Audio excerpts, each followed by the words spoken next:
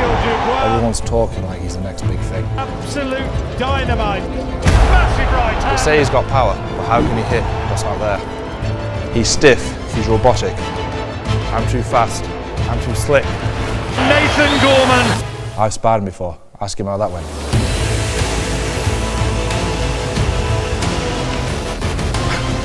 I'm gonna box circles around him, make his head spin.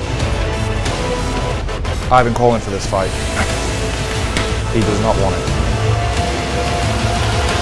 I'm the man to beat Daniel Dubois.